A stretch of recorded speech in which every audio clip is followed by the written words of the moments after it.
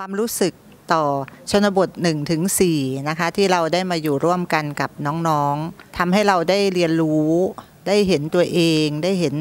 อารมณ์ความรู้สึกของตัวเอง การที่ได้มีปฏิสัมพันธ์กับน้องๆเนี่ยก็ทำให้เราได้เห็นมุมมองที่มันหลากหลาย เห็นวัยที่มันมีความแตกต่าง รู้ถึงความรู้สึกที่มากมายเนาะทั้งความสุขความทุกข์ ความหงุดหงิด ความผิดหวัง ความดีใจความเสียใจ ความเข้าใจ ซึ่งบางครั้งเนี่ยในเรื่องของสุขทุกข์เนี่ยมันก็เกิดจากความคาดหวังความต้องการที่อาจจะไม่ได้รับการตอบสนอง หรือได้รับการตอบสนอง แต่มันก็เป็นประเด็นที่ทำให้เราได้เกิดการเรียนรู้ร่วมกัน ได้ถอดบทเรียนร่วมกัน ซึ่งจากชนบท1ถึง4เราก็เห็นได้ว่าน้องๆเนี่ยก็มีการเติบโตภายใน แล้วก็แต่ว่าก็ยังมีโจทย์ที่ให้เขาต้องเดินต่อไป ชนบท1ถึง4เป็นการเรียนรู้วิชาชีวิต เราการที่เราได้มาอยู่ร่วมกัน มันก็มีความคาดหวังต่างๆ นานา แล้วก็ได้มาเรียนรู้ความเป็นมนุษย์ของตัวเราเองนะคะ อย่างเช่น น้องๆก็อาจจะมีความคาดหวังแล้วก็ไม่ได้ดังหวัง พี่เลี้ยงก็อยากที่จะทำให้น้องๆได้ดังหวัง พี่เลี้ยงก็เกิดความทุกข์ใจว่าเอ๊ะทำยังไงจะได้ดังหวัง ก็เลยอยากถามน้องๆว่า บางครั้งที่แบบเราจัด กิจกรรมต่างๆ ให้น้องไม่ได้ในบางกิจกรรมที่น้องคาดหวังเนี่ยน้องรู้สึกยังไง ค่ะสำหรับความรู้สึกของหนูนะคะ ก็ตอนแรกก็เราเรามีความหวังค่ะ แล้วเราไม่ได้ตามหวังค่ะเราก็จะมีแบบเสียใจเล็กๆ นิดๆแต่ว่าด้วยความที่วุฒิภาวะของเราที่โตขึ้นแล้ว เมื่อไม่ได้ตามความคาดหวังเราก็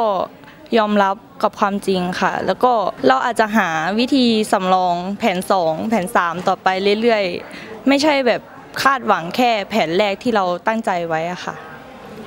เพราะฉะนั้นชนบทศึกษามันก็จะมีคำถามที่ทำให้น้องๆได้กลับไป reflection ตัวเองไข้ควรตัวเอง ก็ทำให้เขาได้เห็น แล้วก็ยอมรับความจริงในชีวิตตัวเอง ก็เป็นการฝึกทักษะอย่างหนึ่ง แล้วสิ่งงดงามที่ได้จากฐานชนบทศึกษา ก็ยังมีมุมที่สวยงามนะคะ อยากให้น้องๆลองแบ่งปัน ความขอบคุณสิ่งที่สวยงามในชนบทศึกษาเราได้เห็นอะไรบ้าง ที่มีปัจจัยเกื้อกูลกับเรามากมายในชนบทศึกษานี้สำหรับสิ่งที่สวยงามในชนบทศึกษาที่พบนะคะก็ คิดว่าเป็นมิตรภาพของเพื่อนๆพวกเราที่ช่วยกันร่วมใจกันทำงานแล้วก็จากการที่ลงชนบทก็จะเห็นความรัก ความอบอุ่นของชาวบ้าน แม่บุญธรรมแม่แม่อสมอที่ที่มาช่วยกันเนาะทำงานร่วมมือร่วมใจค่ะ ให้ความช่วยเหลือพวกเราตลอดเลยเนาะ ค่ะก็มีสิ่งสวยงามเนาะที่ทำให้เราได้เรียนรู้คนตั้งแต่รู้จักเพื่อนด้วยกัน รู้จักที่จะปรับตัวเข้ากับพี่ๆแล้วก็รู้ปรับตัวเข้ากับชุมชนนะคะ สุดท้ายนะคะ ชนบทศึกษาได้สอนเรามากมาย มีคำถามถามตลอดเวลาว่ารู้สึกยังไงเห็นอะไรได้เรียนรู้อะไร ชนบทศึกษา 1-4 ช่วยให้พวกเราได้เรียนรู้ตน รู้คนและรู้คิดอย่างไร ให้น้องขิมช่วยตอบค่ะสำหรับชนบทศึกษานะคะ คิดว่ารู้ตน รู้คนรู้คิดอย่างไร เหมือนว่าเป็นการสะท้อนให้เราเห็นตัวเอง ในอีกมุมหนึ่งอีกสถานที่หนึ่งอีกสถานการณ์หนึ่งให้เราเห็นตัวเองได้ชัดขึ้นค่ะ ก็เป็นการรู้ตน และเมื่อเรารู้ตนแล้ว เราก็จะ สามารถที่จะดำรงชีวิตร่วมกับคนอื่นได้ เป็นการรู้คนอีกอย่างหนึ่งค่ะ คือเราสามารถที่จะพัฒนาอยู่ร่วมด้วยกันอย่างมีความสุข และรู้คิดที่จะทำสิ่งดีๆ ให้เกิดประโยชน์แก่คนอื่นได้อีกต่อไปค่ะค่ะขอบคุณค่ะ สุดท้ายนี้สิ่งที่อยากจะฝากให้กับน้องๆก็คือ การเรียนในมหาลัย เราเรียนหลายวิชา เป็นวิชาชีพที่จะให้เราสามารถเป็นหมอรักษาคนได้ รักษาคนอื่นได้ แต่การมาชนบทศึกษาและค่ายใจอัศจรรย์ เป็นการเรียนวิชาชีวิต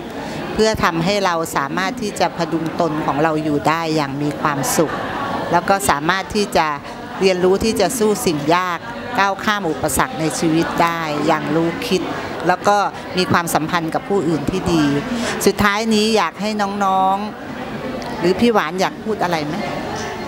ก็น้องมาศึกษาวิชาชนบทที่ในชนบทจริง ๆ นับว่าเป็นเรื่องสิ่งที่ดีงามนะคะ เพราะว่าชีวิตของการดำเนินไปในการทำงานปอบต่อไปในอนาคต เราก็จะพบเจอสิ่งเหล่านี้นะคะ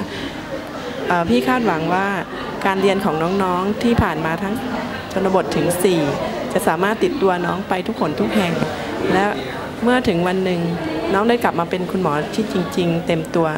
ก็ขอให้นำความดีงามนั้น มาแบ่งปันคนเล็กคนน้อยนะคะ เพื่อเป็นการตอบแทนคุณแผ่นดินหวังว่าน้องคงจะเป็นคุณหมอที่น่ารักและก็ใจดี มีความสุขอยู่ในชุมชนตลอดไปค่ะขอบคุณค่ะ ค่ะและสุดท้ายนะคะ อยากให้เรา แสดงท่าทางประกอบตามความรู้สึกของเรา ว่าชนบท1นถึงสให้อะไรกับเราหนึ่งท่าคนละหนึ่งท่าตามสไตล์นะคะ เดี๋ยวพี่จะนับ 1 2 3 นะ พี่เลี้ยงด้วยนะคะ ชนบทศึกษาให้ความรู้สึกอะไรกับเราบ้าง 1 2 3 ค่ะ